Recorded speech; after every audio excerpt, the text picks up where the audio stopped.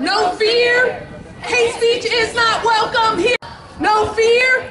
Hate speech is not welcome here. All love, no fear. Hate speech is not welcome here. All love, no fear. Hate speech is not One more time. All love, no fear. Hate speech is not welcome here. Yes. Woo.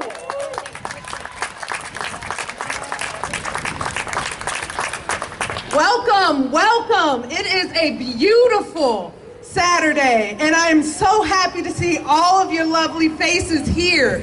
Today is a day that we stand in solidarity with Charlottesville and we denounce white supremacy.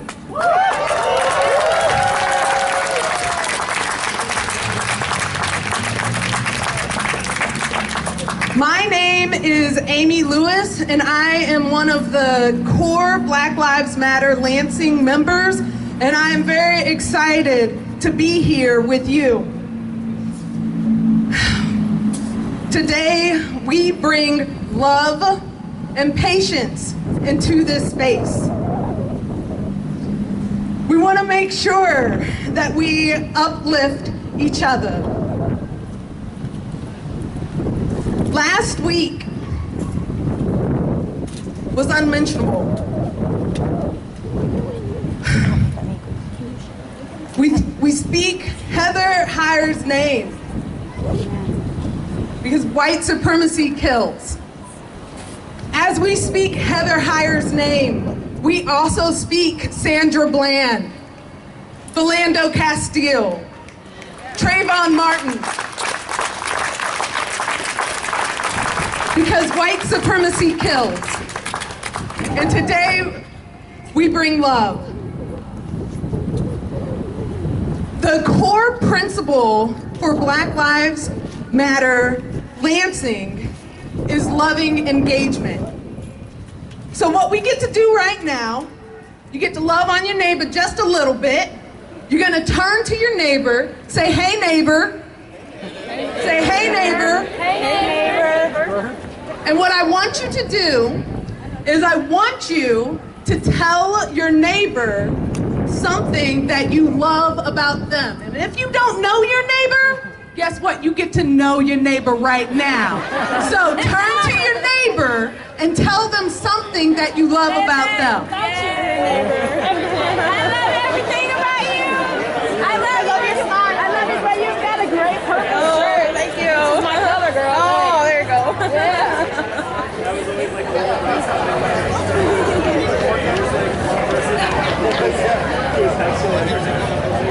Nice, nice, nice. I feel the love. I feel it. I feel it. Now, I want to bring your attention to some people that are standing right behind me, standing in solidarity, people that have our back, people that have your back. We have some elected officials and some clergy members here. Let's go ahead and give them a nice warm welcome and a round of applause.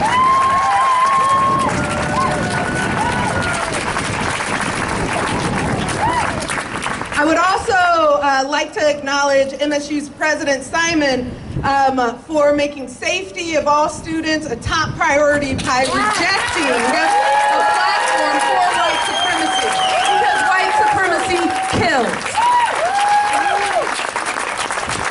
And if at any time during this rally you need any assistance, there are people walking around with clipboards and um, some other folks that are ensuring that we are safe within this day, within this rally. So now, at this time, we are going to have our first performance. This person is a fierce hip hop artist, and he is extremely dedicated to the youth here in Lansing. He has um, uh, fundraised thousands of dollars for scholarships for the arts. It's absolutely wonderful. At this time, I would like for us to welcome Mr. Mikey Austin.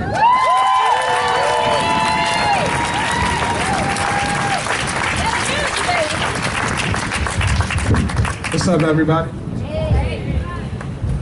How's everyone doing? I want to try this. When I say black lives, you say matter. Black lives. Black lives.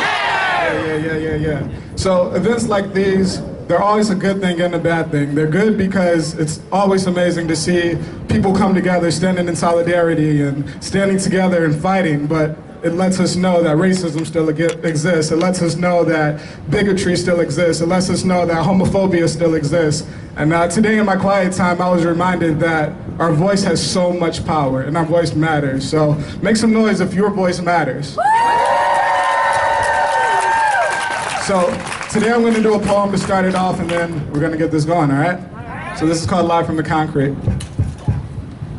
Having a hard time trying to define a man, cause what's unseen is hard to comprehend. And if I'm not taught, I cannot understand, no offense. But the broken homes and shattered hearts inspire me to grab a pen. Many afternoons were spent playing ball and broken rims, which means even if it goes in, our shots are still slim. Opportunities have always been paper thin, so I grabbed a paper and a pen and wrote rhymes to thicken it. Where I come from, nothing is given, nothing is handed. So I took a paintbrush and laid it down on the canvas in front of the police station, paint a picture that is candid, and watch I leave the crowd snapping like a bunch of cameras. Seize every moment, cause you don't know when your last will be. In the life where life is taken so casually.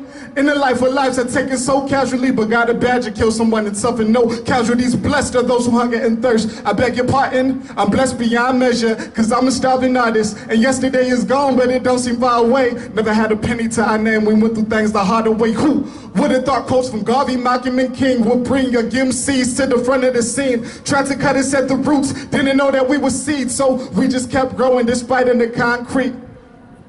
And deep into the afternoon, I was in that concrete practicing my crossover, making sure it was elite. My uncles told me, practice and you can be anything. Should have been a referee instead. I was born with stripes against me. I hung the kicks up and bought a microphone and a stand. Practicing what they told me were my only two options. Black man, black man, what you doing where you going? This world has a way of taking your dreams and ambitions for brothers like me. College is intimidating, especially when nobody in your family has graduated. Plus, what's a degree for a brother like me? Jobs ain't promised when you got dreadlocks and earrings. Qualifications are few, that's why we MC. Recommendations are from the streets, that's why they sell weed. Never voted likely to succeed, but that didn't bother me. I just tampered with the votes to prove a point to those who slept on me. Never was a first round pick. I sat in the bench watching I peep game. Now I can't get like soccer. Songs vivid enough to win this black man an Oscar. From the slums, I became an MC godfather. Tell me why do my people die? Bullets ain't got name, but skin surely attracts they aim. Who do I trust when the police is just another blue gang and the congregation starving while pastors flying in jet planes? Hard to stay in your lane when you ain't got enough. Looking at our president like, really, who can I trust? Freedom's mad expensive and my family was cheap. I'm looking down the family line like I guess it's gonna be me. When I say black lives, you say matter. Black lives, black lives. When I say black lives, you say matter. Black lives, black lives. Thank you for your time.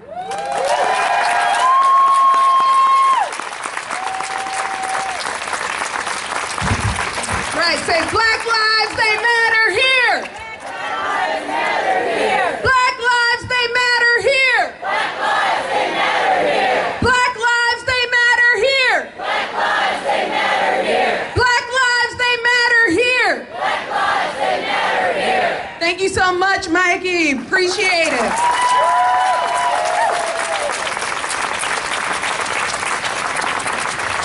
Now, before we get introduce our next speaker, I'm going to tell you a little bit about Black Lives Matter Lansing. As I told you before, our core principle is loving engagement. And what are we doing with that love and engagement? Right now, we have three spectacular goals that we are working on relentlessly. We have been working with um, the upcoming local elections with 20XX.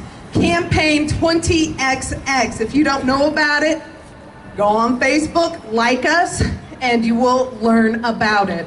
We have hosted town halls, and we will host um, a debate coming up on September 26th. Election 20XX. And within those goals, of election 20XX, XX. We want to increase police accountability. We want to do that by having an elected police commission. Goal number two, we want to divest in the war on black people and invest in the black community. So what does that look like? that looks like an eradication of food deserts. It looks like ensuring that we can have mixed income housing for all of the new housing apartment complexes that we see.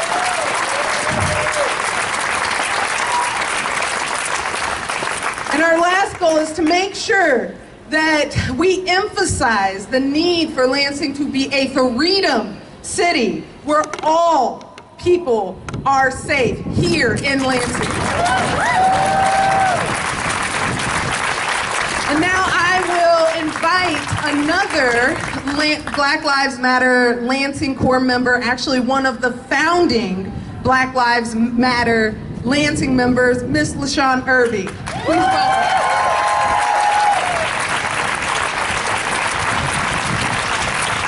Hey, everybody. Ooh, this good sound system.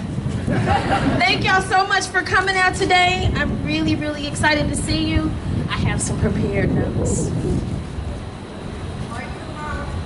Thank you for that. So, first of all, our first speaker for today, I'm very honored to introduce. He is our state senator. Curtis Hertel Jr. was elected in 2014 to serve Michigan's 23rd Senate District, which encompasses most of Ingham County. Prior to his time in the state Senate, Hertel served as the Ingham County Commissioner from 2001 until 2008. The legislative uh, liaison for the Department of Community Health under Grant, Governor Granholm from 2008 to two, 2005 to 2008, and Ingham County Register of Deeds from 2009 until 2015.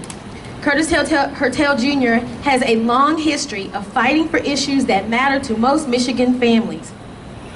At the age of tender 22, Hertel was elected to the Ingham County Commission, where he was a champion for the county's living wage ordinance, successfully fought to save Potter Park Zoo, led the charge for the Ingham County Health Plan, which became a model around the country, and spearheaded a number of important initiatives that streamline services for Ingham County residents.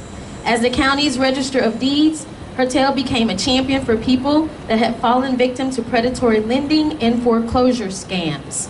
By filing suit against our country's most powerful banking institutions, he helped shield residents from foreclosure fraud. Please put your hands together to welcome our state senator, Curtis Hertel Jr.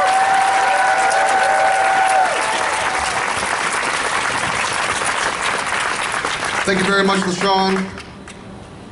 I got to tell you, it's a great honor to be invited here uh, to speak. And I have to admit uh, that for me, uh, you know, I- am a cisgender, straight, white male, middle class, living in America. So I got a lot of privilege to check, and I think in many ways it's my job to be listening instead of speaking right now.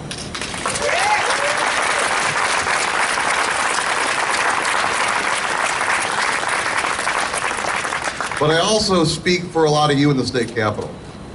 And what I want to say is, is that I think it's easy to call out racism when it's carrying a tiki torch or uh, you know wearing khakis and a white shirt or a hood.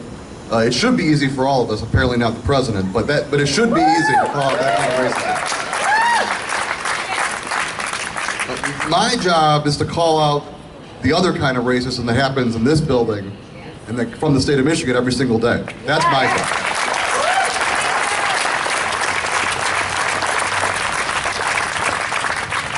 In Michigan, people of color are three times more likely to live in poverty.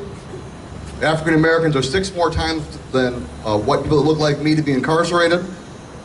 Um, more likely to end up in a failing school. And, and if you don't like numbers, we can just talk about what happened in Flint. Yeah.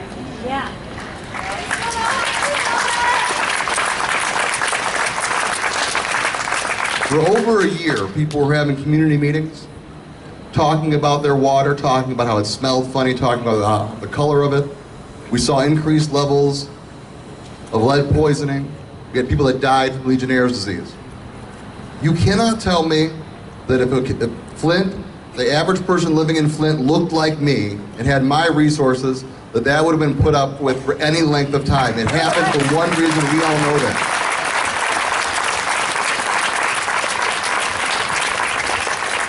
So we have a responsibility to stand up and fight back.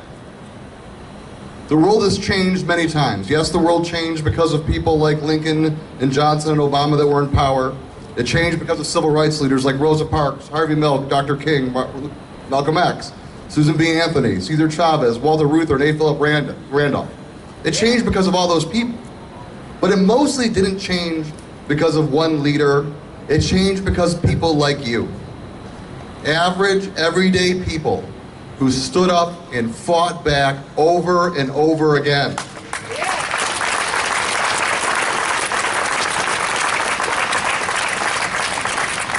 I am a patriot. We are all patriots. This idea that people on the left aren't patriots is garbage. So let's say that. We're all patriots. I love my country. But I love my country not as a child loves their parent. I love my country as an adult loves their parent. When you actually look and see their flaws, when you go and see what they're doing and, and want to make changes, that's the way I love my country. 240 years ago, America started as an imperfect union. But it was a revolutionary idea of self governance. It took us 90 years to end slavery, 60 years for women's suffrage, another 40 years for the civil rights movement, another 60 years before marriage equality. All that being said, the history of America is a struggle for equality. That is our history. We are not going to let them take that from us.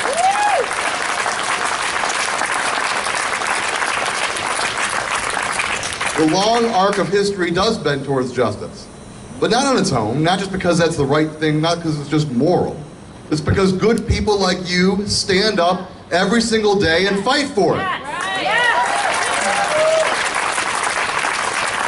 We have a responsibility to be that change.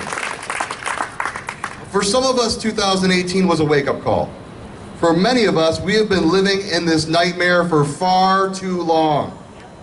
It does not matter, we are all awake now. Yes, we are. What I can promise you, on my end, what I'm asking from you as well, we will march, we will activate, we will fight, and in 2018, we will take Michigan back and we will take this yes. country back yes. to the people. Yes.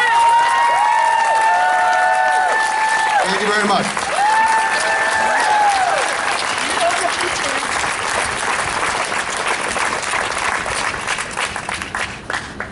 These are my kids, by the way.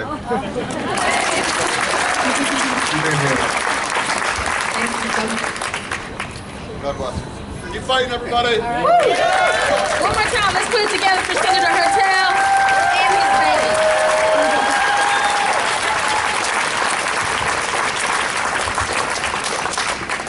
I was taking pictures, I forgot I have back up here. Okay, so our next speaker, I'm so excited to welcome to the stage this morning. Her name is Reverend Desiree Kelly Cato, and she became the first licensed woman as an associate minister of the Union Missionary Baptist Church in April of 1995.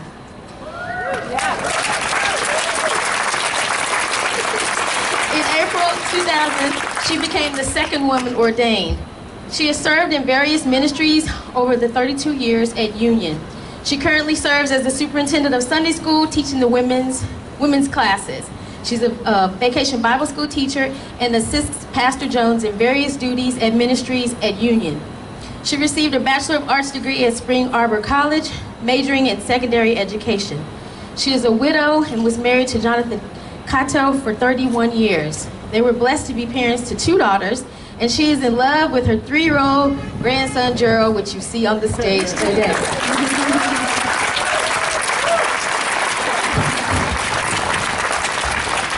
Reverend Cato has, has done several, several speaking engagements in various venues in churches, workshops, colleges, and community functions.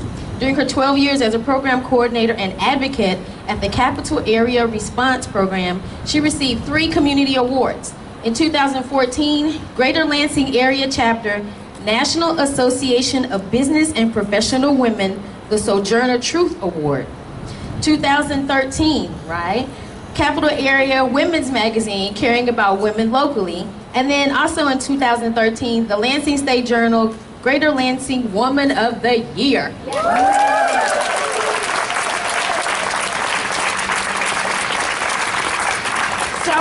Publicly thank you for agreeing to do this. This was um, a last minute invitation. Um, many of you may know, may or may not know, but uh, Pastor Melvin T. Jones is the co president of Action of Greater Lansing. He's a senior pastor at Union Missionary Baptist Church, and he's also one of the co founding members of Black Lives Matter Lansing. He's on vacation. She's gonna handle up though, I promise you. I welcome my sister beloved, Reverend Cato. Please come. Welcome, everybody. Welcome. Sean, thank you so much. When she asked me just yesterday to speak, the first song that came to mind was a song that I have not hummed or sung for years. And it's written by a Woody Guthrie. And it says, This land is your land. This land is your land from California to New York Island, from the Redwood Forest to the Gulf Stream water. This land was made for you and me. As I was walking that ribbon of highway, I saw above me that endless skyway. I saw below me that golden valley. This land was made for you and me. No apologies anymore. We belong here, every one of us. This land was made for you and me. No mistakes anymore. This land was made for you and me. He writes, I, as I roamed and rumbled and followed my footsteps, to the sparkling sands of her diamond desert, and all around me a voice was sounding, This land was made for you and me. When the sun came shining and I was strolling, and the wheat fields waving, and the dust clouds roaring, a voice was chanting, and a fog was lifting, This land was made for you and me. Today, as we come together in solidarity to reaffirm the whole truth and nothing but the truth, are chanting voices together, showing diversity, celebrating who we are, acknowledging our ancestors, knowing that the sweat and blood of tears of all of us has made this land what it is. This land was made for you and me.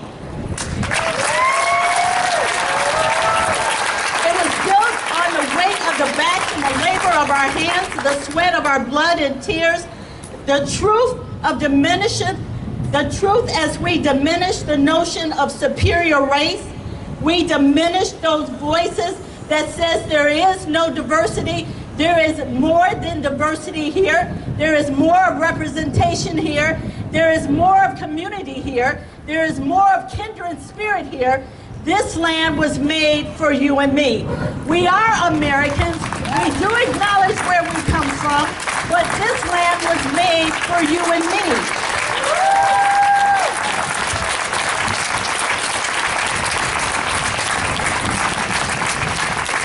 As we follow the footsteps we love in action, we lift up now and forevermore our brother and our sisterly love.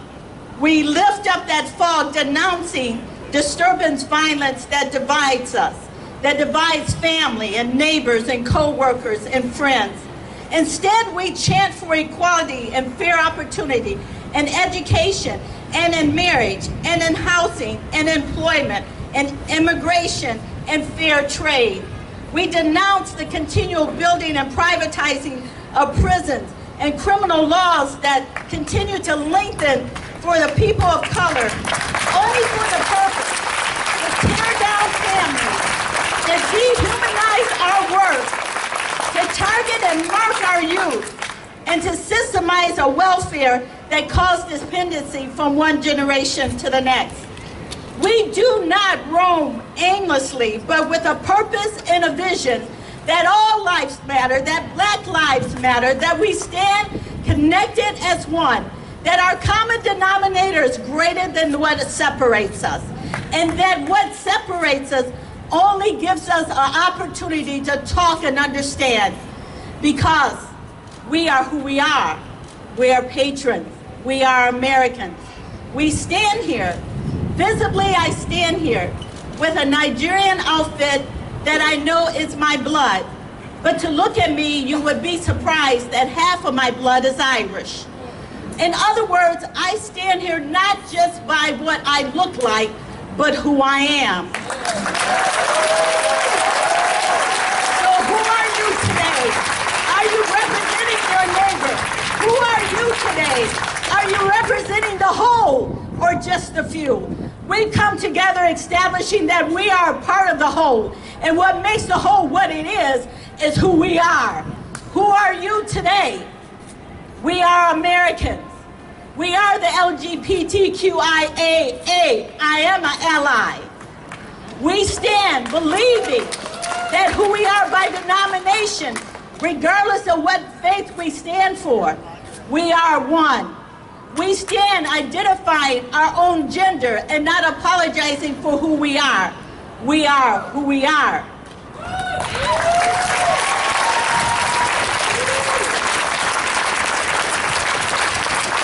Love will conquer and celebrate our differences in our race. If love will celebrate our various culture and our religion. Love will conquer the education of the ignorance of our neighbors and our family and our friends that hide behind Facebook, that hide behind social media, and give de- derogatory words and terms. But yet, when we see them face to face to educate them, they refuse to talk to us. All about? Talk to me. Get to know me. Because my blood still sheds the same as you.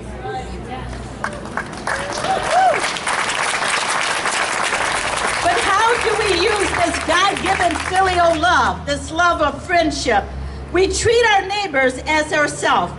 We pray for those who are fighting for equality, those legal attorneys and prosecutors and advocates who are running against the system. It's amazing that Gantry himself, when he discovered that he was living in a place that was owned by James Trump, who blocked the entry and the attendance of black tenants coming into their own place. He refused to renew his lease. Instead, he rewrote another song. And this is the same guy that wrote This Land is Your Land. He rewrote these words from a song that he had already written. It was titled, I Ain't Got No Home. I suppose old man Trump knows just how much racial hate he stirred up in the blood pot of the human hearts when he drew that colored line here at 1800 Family Project. Again, he's talking about when he leased in 1950 at Beach Haven Apartments. Beach Haven ain't my home. I just can't pay this rent. My money's down the drain and my soul is badly bent.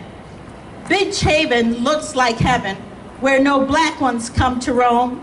No, no, no, old man Trump, no Beach Haven ain't my home.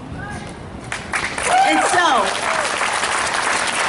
if he can write, this land is my land, and turn around and show James Trump where his money is, then we have a responsibility to not only put our money where our mouth is, to be vigilant of where we where we buy, purchase items, but we also need to be responsible for educating individuals that hide behind the cloak of bigotry, that hide behind the cloak of racism, that hide behind that cloak of violence.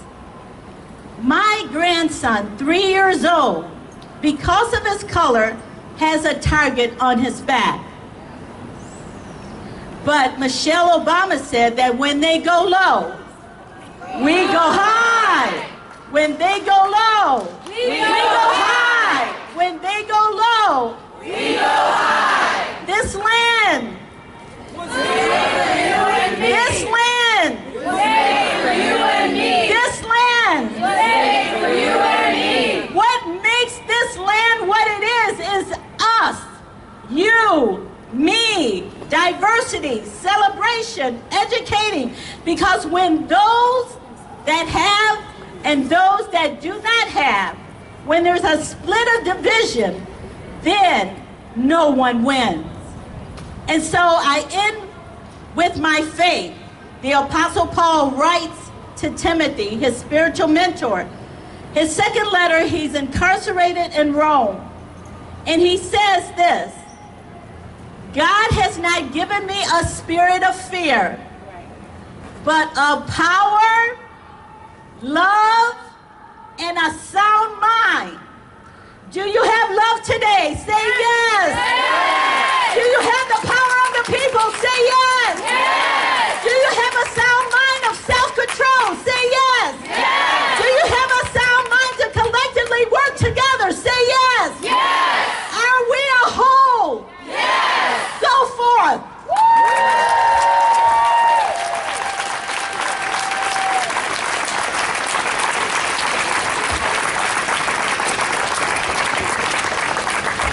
All love, no fear. Hate speech is not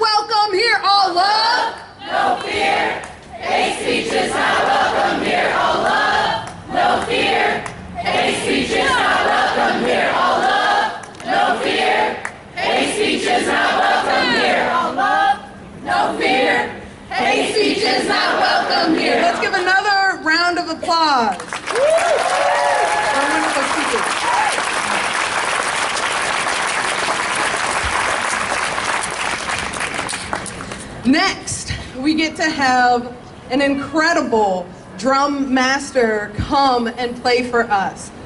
She is actually my mentor, my drum mentor. I love her to death. She fights tires, tirelessly for women's rights. She fights tirelessly for queer rights. I love her to death. Please welcome Miss Pele Young.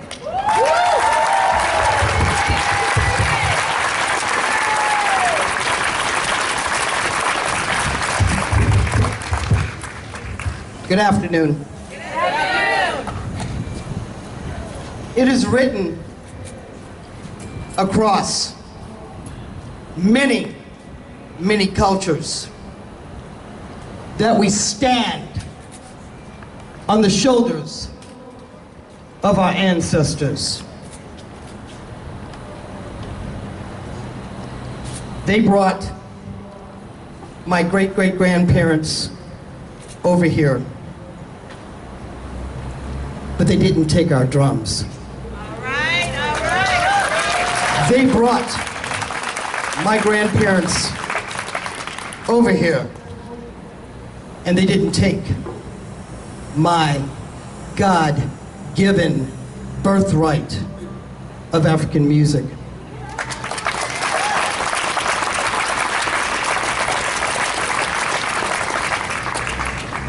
Everyone on this planet has a heritage. With 23andMe, Ancestry.com.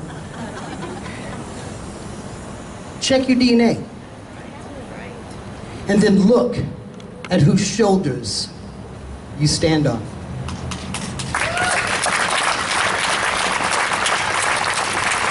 When you find out, you'll realize there, that you are actually a compilation of many heritage.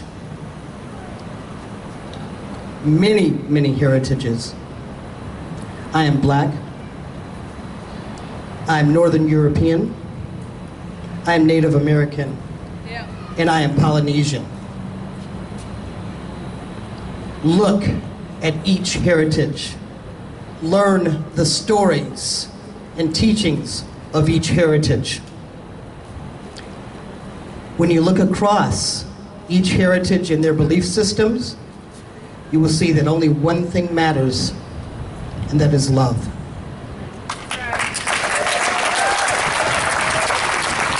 So as we stand here together in love, in light of what has happened over the last week, I want you to remember those who have shed their blood for us. Because you know what? they're fine on the other side. And they're now those ancestors' shoulders that we are standing on. And so it is.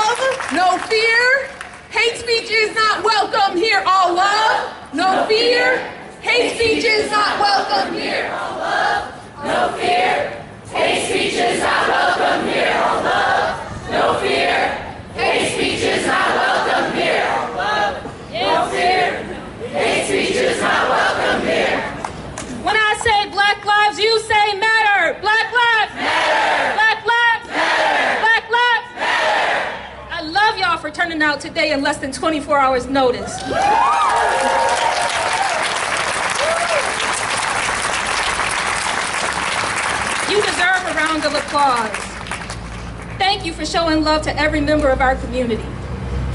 Without all of you, we cannot win.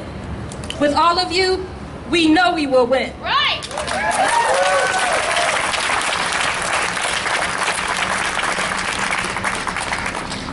It is my great honor to introduce a lovely human being, a passionate human being, one of our newest core members who really helped organize everything that came together today.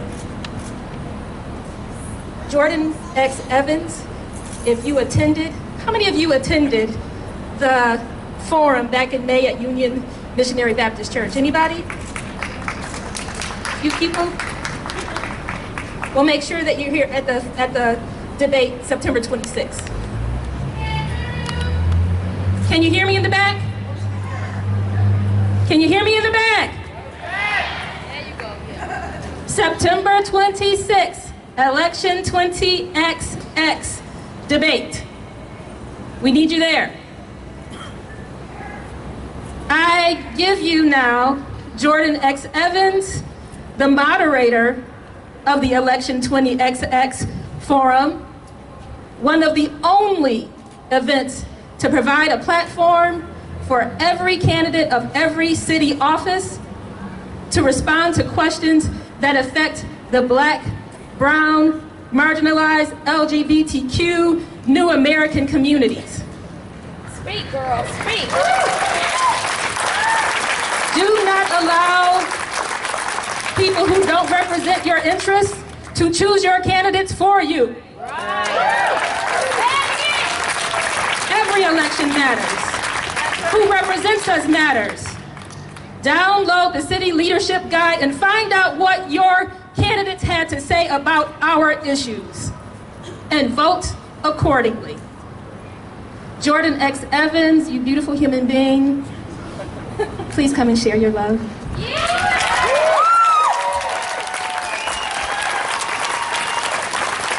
When I say black lives, you say matter. Black lives. Matter. Black lives. Matter. Black lives. Matter. We're gonna do that again. It's kind of quiet in here. It's kind of quiet.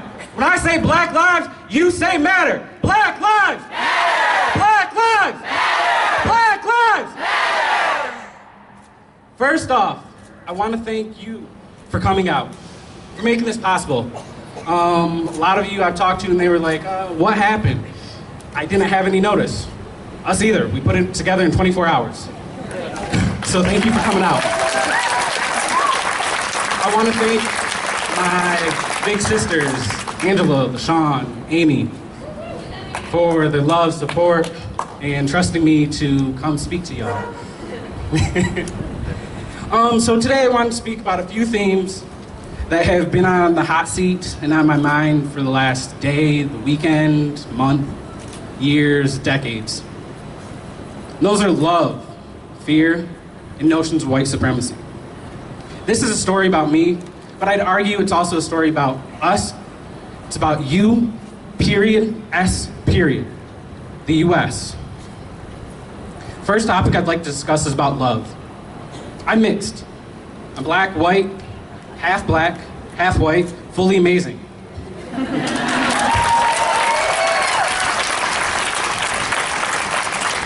Both of my parents were born and raised here in Capital City. They went to Everett. Do I have any Vikings in the house? Any Vikings? my dad met my mom when he would skip his algebra class to go flirt with her in the band classroom. Um, he failed. She passed, but I guess he won, and a few years later, I came about. Um, they had a mixed child. they had me. They had a mixed child, and my grandfather kicked her out of the family. He made it so we could not go to family functions unless they were specifically designed for us. Yet, through this whole ordeal, my parents continued to give me all the love in the world. My mother easily could have taken her anger, her sadness, and her pain out on me. Instead, she loved me. And she took that anger and put it into her education. She graduated with a bachelor's degree from MSU. Um, what is it? Who will? Spartans will. And she did. She had the will to succeed no matter the lack of family support that she received from her family. And while she hit the books, my dad was in the Navy, which meant that a lot of babysitting duties fell upon my aunts, my uncles, my grandparents. It takes a community to raise a child. And I felt the love from every single one of them. If it wasn't for them, I would not be here today. There's no way. Which leads me to fear. My grandmother on my mom's side led a daycare. And I experienced the fear that most children fear the boogeyman. In my grandmother's basement, there was a red, bright door. And in this bright red door next to the play area, we were told that the boogeyman lives down there. And like most kids, we make stories. Boogeyman lives in there. He works. And at one point, there was a kid that was so bad, he took the kid and punished him with steel and hammers. And to this day, we can still hear the screams and the moans of that child being punished. Well, one day, all the other children left the daycare. I'm sitting there alone with my family members. And we're waiting because my mom's still at school. She's still working. She's running a little bit behind, as any hardworking family units do. Thank you. Can you hear me? so, all of a sudden, my aunts and uncle, or my aunts, cousins, and grandmother, we all hear a door shut. We hear this, a silence. And in that silence, I hear fear. I see the, the, the sadness and the scared looks of my cousins. And I don't know what to do. So they, they whisper and hush and tell me to go run under the bed. Go run under the bed and hide. So we're playing hide and seek. I'm five years old. What do I do? What do I do? So next thing I know, I'm creeping and crawling under the bed, to the kitchen, to the back door. And out of the back door, I run and jump in a car. I escaped the boogeyman that day. The boogeyman was my grandfather. He was a, he was a white supremacist that was okay with hate and dividing our family. I mentioned my dad's side of the family. Dad's side of the family, we had different conversations, different experiences. These experiences were amazing and enlightening and also over the top, over my head, because as many black children in this nation, I was taught to be afraid of cops. I was taught to be afraid of my blackness. I was taught to be afraid that I could die at any moment. The conversations we had were Jordan, don't wear that hoodie. If you wear that hoodie when it's not raining, you could be killed. When you talk to a cop, ask for your parents, ask for a lawyer, which I asked my grandmother, what does a lawyer mean? Boy, if you don't start stop asking these questions. so, if you do talk to a cop, enunciate every word. Grandmother, what does enunciate mean? Boy, stop asking these childish questions. You know what it means. Just talk slowly and clearly, like those teachers told you. There was fear in their voice, in my grandmother's and my uncle's voices, as they told me these lessons. The fear that I could be taken away from them at any moment. Which leads me to my final quick memory. My mom and I were in the car. We were driving. And she stopped and we had to get gas. And she turned around, looked at me, and said, Jordan, stay in the car. She locked the door, and I could see she was uh, a shaken mess. So I wonder what's going on. I get nosy and peek over the top. What's going on? What's going on? She goes talk to an elderly white man. Gray hair, no beard, no mustache, skinny. Kind of like the guy you'd see at a Finley's on a Sunday at a 10, 10 a.m. And she comes back visibly shaken. She's crying, tears in her eyes. So, like any child at five years old, Mom, Mommy, Mom, Mom, Mommy, Mama, Mama. And she ignores me. So I continue to do my Stewie. Mommy, Mom, Mom, Mom. What's going on? She tells me. That was your grandfather there. That was the grandfather that you'll never meet. And she was shaken, so I kept asking questions, but how do you explain this to five, a five year old about what notions of white supremacy are, what racism is? How do you have these conversations? And like many of pe- people in this country, she opted out. So, like any other child that's got two families that love them dearly, I went to the other family. What? Why can't I see this man? What is racism? Why does he not accept me for me? Is there something wrong with me? And they told me. They explained what racism was. They explained to me why I have to wear I can't wear a hoodie with a hood up. They explained to me why I can't walk around with Skittles at night. They taught me these harmful and scary lessons at five years old because I needed to hear them. And I'm telling you them now because you need to hear them. Because we can look at both sides of my family and say, they loved me. They did everything to support me and keep me safe. But let's talk about my family that instead of confronting this racist man, would rather hide me. How many of you struggle to talk to your family members about racism? All of you? Most of you? It's a struggle. It's hard. But we cannot opt out. We cannot. How many more people are going to be wondering what is wrong with them at five years old? How many more people are going to be hurt? How many more Trayvon Martins must we see? How much more pain do we have to have before you step up instead of opting out?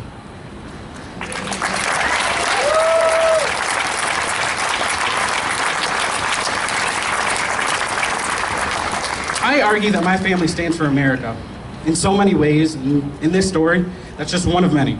They represent America today because we are witnessing those ways, those fears and ways our white family members refuse to stand up, speak out, and dismantle the systems that they have profited from. While my brothers and sisters who are black, Native American, Muslim, disabled, queer, transgender are all afraid that they will be harassed, attacked, tortured, raped, and killed, and targeted by acts of terrorism. Of course, we are all fearful and outraged at Nazis and the KKK. Those are visible. They make it clear what their thoughts are.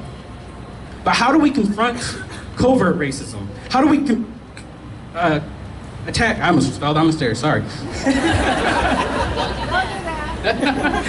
um, but how do we attack these systems that are harmful? We should be livid that our neighbors, friends, and allies are more afraid to upset the status quo of law and order than creating country based off justice and humanity.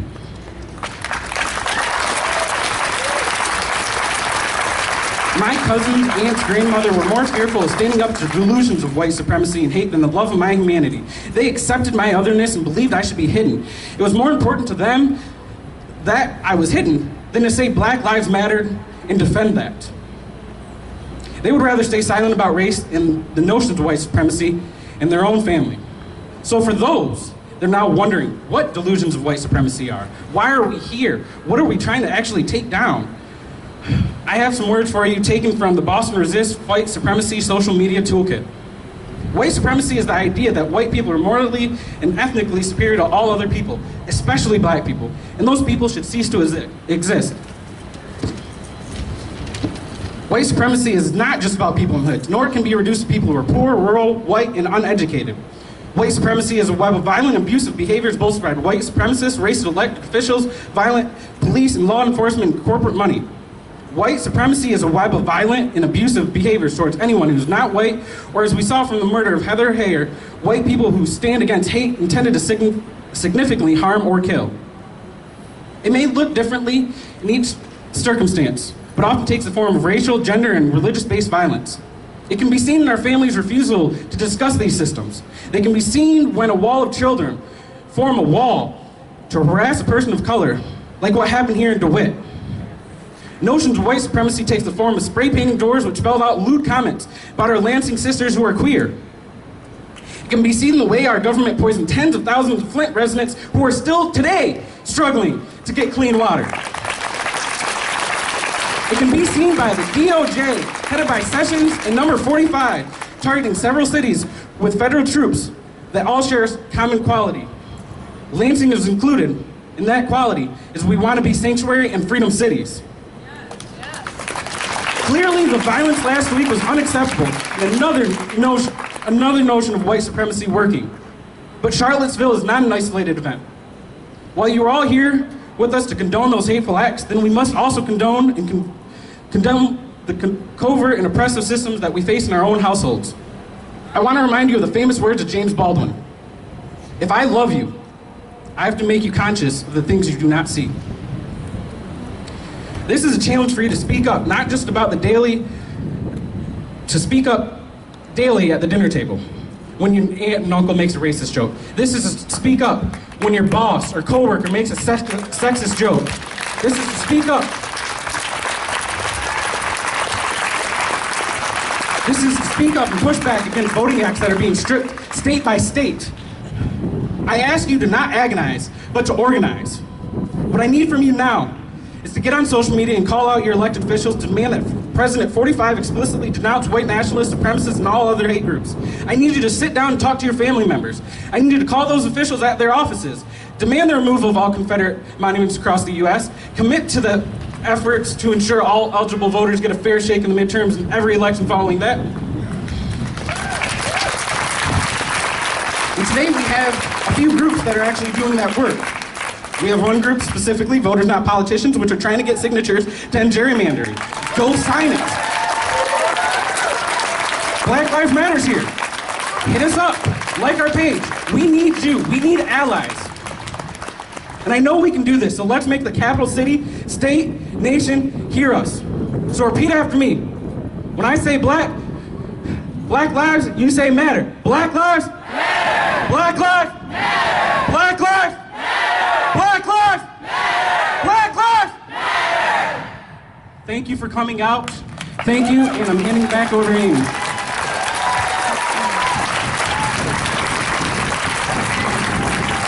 Thank you, Jordan.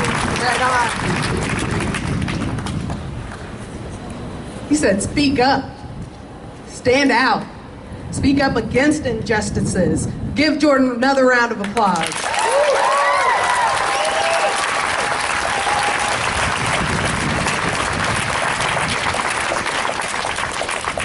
So there are several people that we have to thank and acknowledge for making this possible. Uh, right now, I really want to first thank all of you for being here. Your action of being here shows that you care. It shows that you want change. So, first of all, thank you.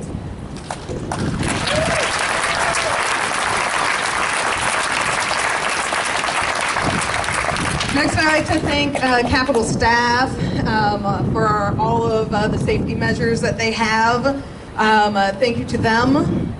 And then, um, uh, last but certainly not least, um, volunteers and the Black Lives Matter members, Black Lives Matter allies, Black Lives Matter core members. All of the clergy and all um, of the elected officials that have come through. Thank you guys so much.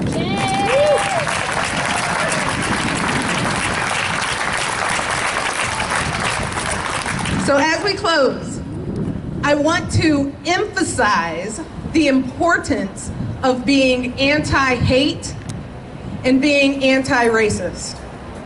The stance of being anti is something that is actionable. It's something that you do. It's nothing that you can just ignore and pretend that it will go away.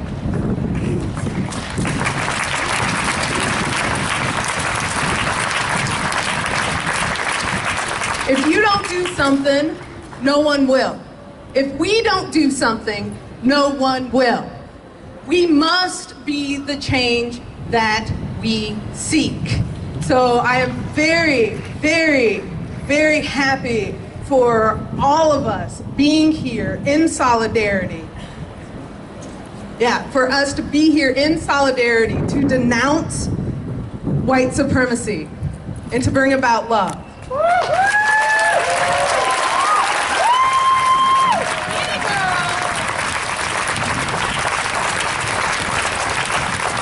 just have to really thank my family. They're in Kansas City, Missouri. Hey, hey.